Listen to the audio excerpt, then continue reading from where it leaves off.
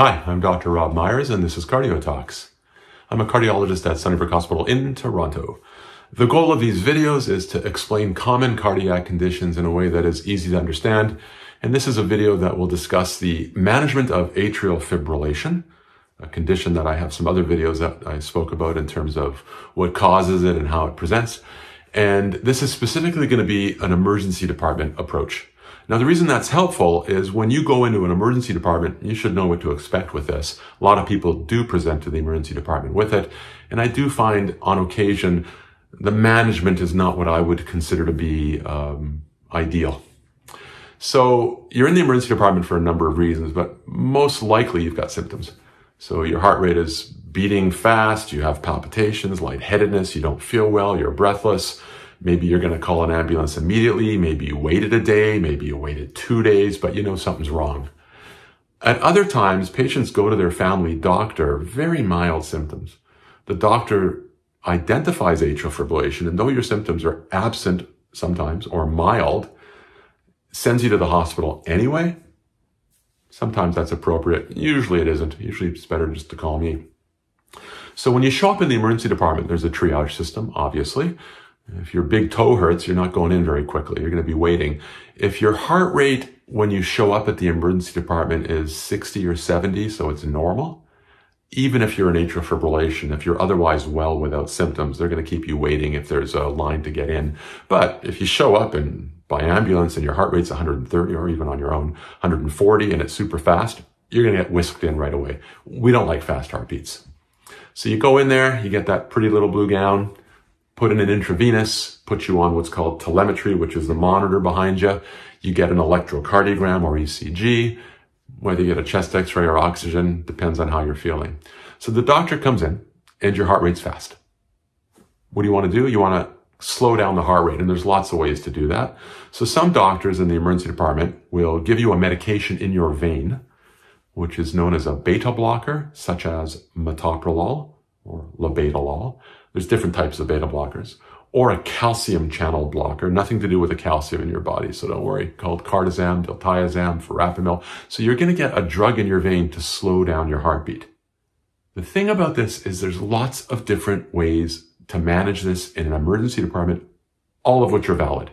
It depends on the way you've presented, how you're feeling, what your blood pressure is. That's a critically important determinant of management how fast your heartbeat is. So there's so many things that go into it. It's not one size fits all, but that would be one option. I'm going to slow down your heartbeat. So one of the errors I see, which is kind of annoying, is when your heartbeat gets slowed and it's busy or the emerge doc doesn't want to bother sometimes, you'll be kicked out of the emerge. You'll be like, oh, half hour later, your heart rate looks good. You're feeling fine. Your blood pressure's good here, take this medication to keep it slow and go see your cardiologist or your family doctor and get referred or they'll refer you. Terrible way to deal with it. So with the provi- provision, the caveat that you have arrived in the emergency department clearly within 24 hours of the onset of your rhythm, you should never go home unless an attempt is made to get rid of the rhythm. So it is from my perspective, bad medicine to take that kind of a person and say, oh, your heart rate's slower, out you go. And I'll explain why. So if it's beyond 24 hours, you get a higher risk of a stroke. Some say 36, but you know, we're always very careful about this. So if you're beyond 24 hours, clearly, or we do not know when it started because it was recently noted and you have no symptoms, well, then we're not going to get rid of the rhythm before you go. So that's not an expectation that can be met. But if you're less than 24 hours, here's the problem. Now, about 50% of the time with your episodes of occasional atrial fibrillation called paroxysmal, it'll go away on its own within 24 hours. Lovely. But what about the other 50%? I had a patient once who was in Japan, visiting Japan, got atrial fibrillation. It was kind of interesting the way they managed it. He was stable. They gave him a drug to slow the heartbeat and said, come back in 24 hours. And uh, it's logical. I guess it kind of reduces the pressure on the system. Wouldn't be my first choice. I wouldn't want to go into my hotel room in a foreign country with a new cardiac problem, but I can understand the logic of it. By sending you out, here's the problem is if you don't get rid of the atrial fibrillation, now you're living for a month with the atrial fibrillation until you see me, or a week or two weeks, but because you've been sent home with it, meaning it's going to be going on more than 24 hours, now you need to be on a blood thinner for a month before I get rid of the rhythm. So you're a little uncomfortable, your heart rate's fast, they gave you a drug to slow it down, but I'll explain later why that doesn't always work. So now you got to live for a month or longer, and then I got to electively bring you into the hospital and give you this electric shock. Terrible care. Terrible. Because it inconveniences you, puts you on medication. Literally, it could be for months. Instead of what? What's the alternative? Well, the doctor comes in and says, Oh, you've had atrial fibrillation for less than 24 hours. Everything seems stable here. I'm going to get rid of it before you leave the emergency department. That is the standard of care. Anything else, you just shouldn't accept it. You shouldn't accept it. You should question it. So how do we get rid of it in an emergency department? There's a couple of ways. One way is to give you a completely different type of drug in your vein, which doesn't just slow the heartbeat down, but also has a special ability to get rid of the rhythm. It's called an antiarrhythmic. Examples, there's lots of them, but examples could include amiodarone, procainamide, sometimes doctors will use ibutylide, relatively new. So there's lots of options, and I'm not so concerned about the option used. I'm concerned about doing it. That's one choice. So they hang a bag of this medication, you'll get it for an hour, or you'll get a bolus of amiodarone, or you'll get that for an hour. And that will really improve the chances of getting rid of the rhythm. And then they can kick you out and see me the other method, which is faster, is basically what you see on television. You get an electrical cardioversion, zap. Now you're asleep for that. So the emergency doctor and a colleague or an anesthetist will give you medication to knock you out for about three or four minutes. These drugs always amaze me. Whether it's ketamine or propofol, the Michael Jackson drug, you're completely unconscious for such a brief amount of time. And so you can safely get that electrical shock which depending on the cause of your atrial fibrillation and how long you've been in it, it'll work more than 90, 95% of the time. No damage, no harm. The risks of a cardioversion are tiny. There's always a risk for anything. It doesn't matter what it is. But in my lengthy career, I have only very, very rarely seen complications from cardioversions, except for they don't always work. So now there you are. You're a little groggy. You're feeling better. Your rhythm is normal. What's the next step? Well, the next step is to see me.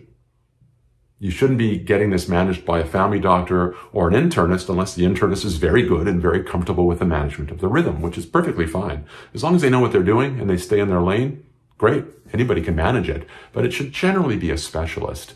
So depending on the, your age, your underlying conditions, in general, the standard of care at the present time, regardless actually, is to spend uh, one month on a blood thinner what's called an oral anticoagulant or novel oral anticoagulant. There are some new ones out there, relatively new. And these medications help to prevent stroke. So it's a little controversial because I did say it depends on what other illnesses you have. The guideline says, you know, if you're a healthy 30 year old and you have atrial fibrillation and we shock you out of it, you go on a blood thinner our ability to predict stroke risk in someone like that, it's not very robust. It's kind of a cautious approach. I'm not always totally in agreement, but guidelines are guidelines.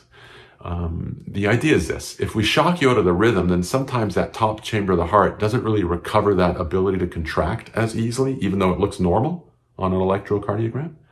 So when blood doesn't circulate as well in the top chambers, it's called stasis, and that lends itself to a blood clot formation, something that could even be the size of a period at the end of a sentence. And so a blood clot can break off and cause a stroke. So in general, you are going to go home with at least one month of a powerful blood thinner. Now, now the reason I have some questions about it, depending on your risks, is blood thinners have complications, such as bleeding to death. But like anything, it's not the severity of it, it's the frequency. It's a low frequency, but you know, hit your head, you could be in trouble. Fall and break a bone, you could be in trouble. So there's all sorts of other elements. You can't look at a medication as one side of an equation. It's always two sides of the equation. So you go on the blood thinner. The emergency doctor is very unlikely to put you on an antiarrhythmic. Most doctors wouldn't be comfortable with that, totally understandably. But they might send you home on an oral form of a drug to slow your heartbeat, like a beta blocker or a calcium channel blocker that I mentioned in oral form. I don't generally like that. The reason is the dose is going to be low and it's unlikely to have a significant impact on the next episode. Now, there is rules for these and other circumstances, but if you go into the emerge with one of, you know, your first few episodes of atrial fibrillation, your heart rate's fast, by sending you home on these drugs, what it means is this. It'll do nothing to get rid of the rhythm. It doesn't prevent another episode. That's an antiarrhythmic. If it just slows your heartbeat, then you're just as likely to go into it. Now, sure, your heart rate will be a little slower, but in my mind, there's a disadvantage to that. And the disadvantage is you may be less likely to go to hospital the next time because you're not feeling feeling it the same way. Now that's that's the microscopic management of it. In the big picture, of course, I don't want you to have symptoms. And so sending you home on these drugs, I usually stop them and then talk about the definitive treatment when you come to my office. So that covers the expectations of management in an emergency department. And the next video, I'm going to talk about what happens when you come to see me. I hope that helps.